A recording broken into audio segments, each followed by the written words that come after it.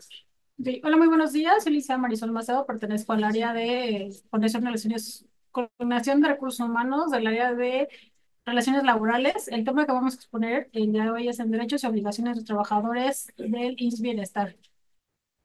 Bueno, un poquito de la introducción, sí me gustaría platicarles que en términos generales, tanto la ley de los trabajadores al servicio del Estado y las condiciones generales de trabajo establecen los derechos y obligaciones de los trabajadores de base que elaboran las dependencias y entidades de la Administración Pública Federal.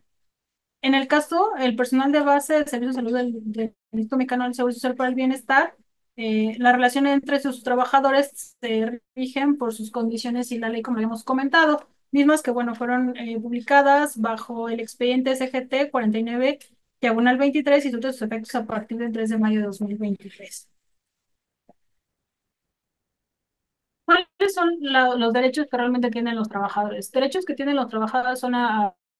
se les proporciona anteojos, titulación profesional, renovación de licencia,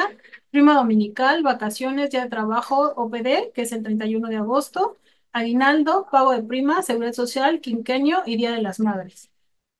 Dentro de la ley de los trabajos al servicio del Estado, también tiene como, eh, digamos, parte de sus obligaciones como trabajadores sin bienestar, pues desempeñar sus labores con la intensidad, cuidado y esmero apropiado, sujetándose a la dirección de sus jefes y a las leyes y reglamentos respectivos, observar buenas costumbres dentro de su servicio, cumplir con las obligaciones que les impongan las condiciones generales de trabajo, guardar reserva de los asuntos que lleguen a su conocimiento con motivo de su trabajo, guardar reserva a los asuntos que lleguen a su conocimiento con eh, motivo a las actividades que estén inherentes o que estén realizando, evitar ejecución de actos que pongan a, a sus compañeros en peligro o en este caso también a los parte de los pacientes, asistir puntualmente a sus labores y no hacer propaganda de ningún clase entre los edificios lugares de trabajo y asistir a instituciones de capacitación para mejorar su preparación y eficiencia.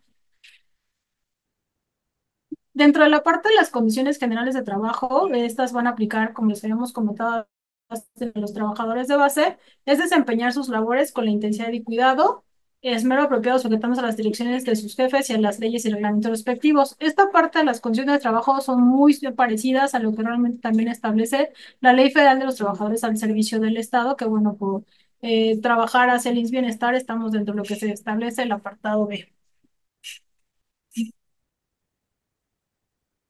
Dentro de las mismas condiciones, conforme a la parte de la ley de los trabajos del servicio del Estado, también hay, eh, digamos,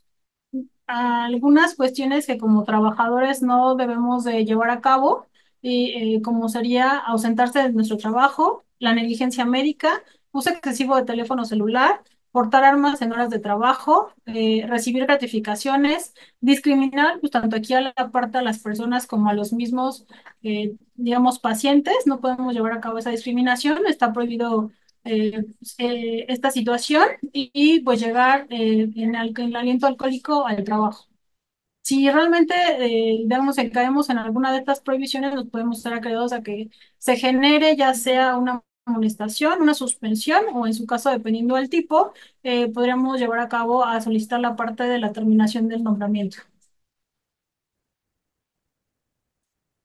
También tenemos que recordar que hay que cuidar mucho la parte del material que se nos proporcione, porque si realmente a esto, este material le podríamos ocasionar algún daño, pues entonces las personas trabajadoras estarán obligadas al pago de los daños y perjuicios que se causen a los bienes que estén al servicio del bienestar cuando dichos daños y perjuicios les fueran imputables de conformar con las disposiciones legales respectivas. Queda el incumplimiento de alguna de las obligaciones que establece tanto las condiciones como la Ley de los Trabajos del Servicio del Estado. Nos puede dar la suspensión de los efectos del nombramiento o la terminación de los efectos del nombramiento. Y bueno, pues agradezco mucho esta parte y ojalá les sirva mucho este tema de derechos y obligaciones.